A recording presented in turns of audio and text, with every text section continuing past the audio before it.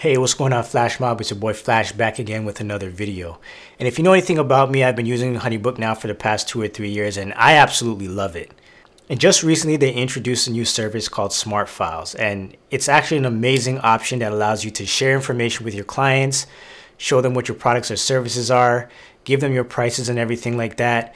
And what actually makes this really special is that it allows them to actually select the options that they want to go with that you offer. It'll generate an invoice for them and it will also go as far as allowing them to make a payment, which is amazing. So just think about it being like an all-in-one document that you can send out one time to multiple different clients. But it does also have its shortcomings. They try to use this like drag and drop template maker to create the documents that you want to share with your clients. But in my opinion, it's not that great. HoneyBook, if you're hearing this, that UI needs an overhaul as soon as possible. So what I started doing was actually using Canva to create the different type of documents or information that I want to share within HoneyBook and then uploading those documents into HoneyBook and using it that way to present my information. And that's what we're going to talk about in this video. Run the intro.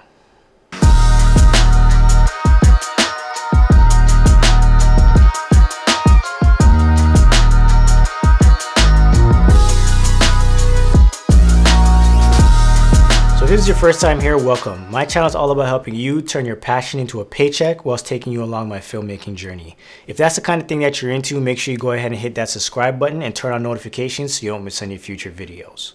So let's hop over to HoneyBook right now, see how everything's set up, and then see how we can use Canva to make it all a little bit better. So the first thing you want to do is head over to Tools, then go to Templates. Then you can create a new template. So we can go to like a proposal and there you go. All right, thanks, thanks. So it automatically starts you off with a invoice, contract, and a way for them to pay. And then you can just start adding pages that you want. So what you can also do is just kind of start from scratch. So start from a blank source, or you can also use something that you've already done before. So what I'm going to do is actually start from a blank slate. We're going to move this up to the top and we're going to call this introduction. And then you start off with what they call their blocks. So you have text, a question, image, video, all the way down to here, and also some actions. So you can create all these different kind of actions as well. Uh, for the sake of this video, let's start with an image. So it creates this little block and then you can add an image to here. So if you've had, you know, an image that you made before or whatever that you uploaded before, you just drop it in there, you can full screen it and that's more or less what you get. So now you have this image. And then what you could do is crop it. So I'm to crop it a little bit because it's a little too big. So I'm to crop it something like that. Hit apply. And it gives you something like this. And then what you can also do is once you click out of it, you have these little plus signs at the top and the bottom here. And essentially what they allow you to do is add another block. So you can do it like this. You can add some text. You can add another image. But I'm to go ahead with some text. We're to say Welcome to Flash Forward Media Group. And then when you highlight it, you have the ability to change its alignment. So we're going to go to the middle. You can make it bold. You can increase the size, whatever. Change the font, change the font, or let's go back here. Change the font to whatever you want. Uh, change the color and there's a whole bunch of other little things that you can do in here, but let's just keep it simple for now. So we have this thing that says, welcome to Flash Forward Media Group, has a picture of me and my business partner. And you kind of go from there. And then you can just be like, next button. You can make this say whatever you want it to say, like learn more or see some of our work. Cool. So when they click on this, they'll take them to the next page. Now, what the problem is, is that like, let's say for example, I want to add some text into this image, right? It's not very intuitive. Like, how do I add text to this? I have no idea. Like, what if I wanted this title to be in here, not up here? How do I do that? Right? And you click all over this thing, you're trying to find it, like, there's just nothing there, right? Essentially, what you have to do is go here, go to layouts, and then you would have to pick one of these. So like a splash image where you can add an image to it and then add the titles and whatever. And it's like, ugh, just way too many steps. And if you're not really good with these kind of things, you're not going to find this out very easily. So what I like to do is use Canva, create these type of images or documents that I want to have put into HoneyBook and then import them all into HoneyBook. And let me show you guys just how easy that is. So I'm going to go ahead and open up Canva. And let's go to, let's go to my promotional content option here. So here's a nice little title that I typed out. Looks great. Got some information about my business got some information about what we do, etc., etc. So this is an already created document and yeah, like all the information is there. So what I do is just download it. So download it like I would regularly. And then we'll go back to HoneyBook. And we will go to, we'll add a new block. And we'll go to image. And then you literally go to, where is it here? X this out. You literally go to where it says upload. Then you file the, find the file on your computer by going in here. So you could just go to choose this and then you can go through and find it that way. Or just drag and drop it into this cloud here. And then once you do that, once it's uploaded, they'll appear in your library. So you guys can see here, I already have this one for promotional content already there. I can full screen it and, and look at how like nice that looks. Service proposals, got the title, it's got my, you know, whatever I need here. It's got some information here. Great.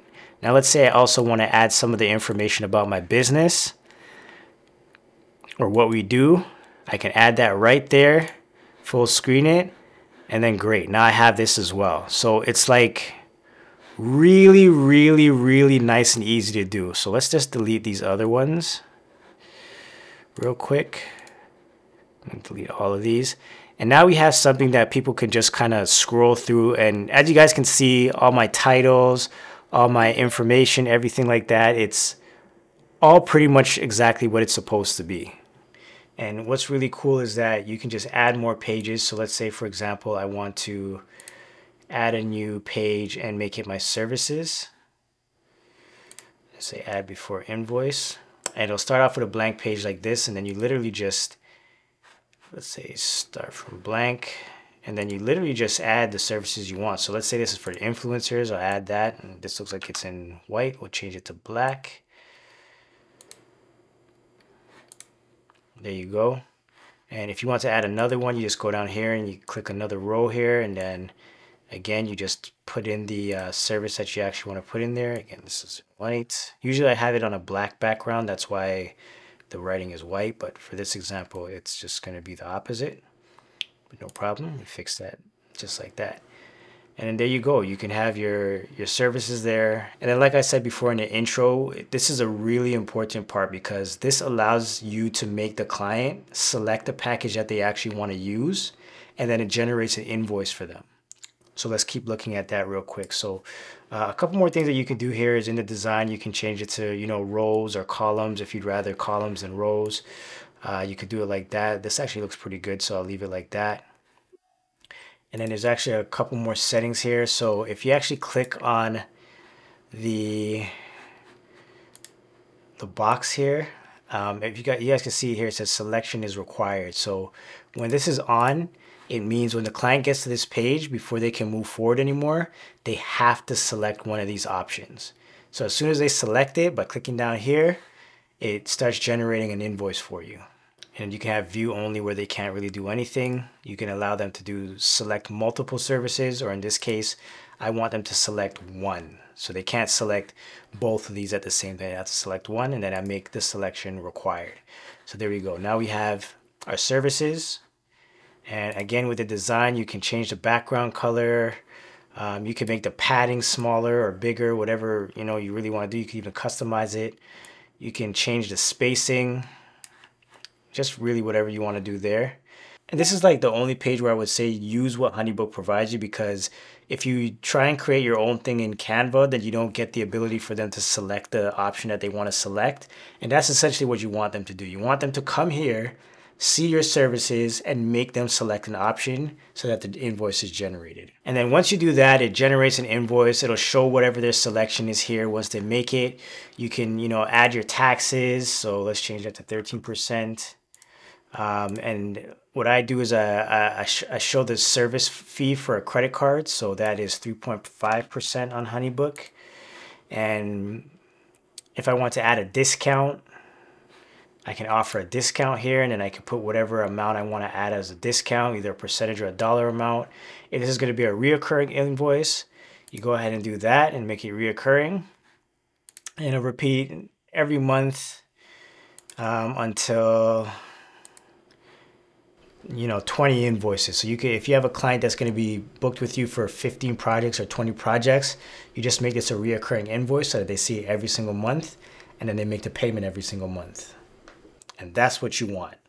You know it gives them the credit card option and we can go to the payment page and then you'll just see exactly what they would see. So if they want to make a credit card payment and put in all their information this is what they see and then they also have the ability to add auto pay, which again is another thing you want them to do.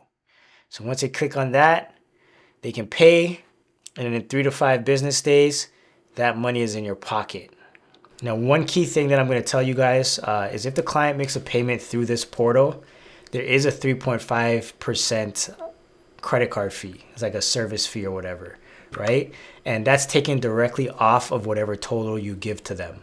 So that's why I charge a 3.5% up front. And if the client is like, um, yeah, pay by uh, e-transfer or check or whatever, any other means that doesn't involve this credit card payment, then I'll remove that 3.5% charge before they make the payment. The last thing you want to do is name this something. So I'm just going to call this test proposal.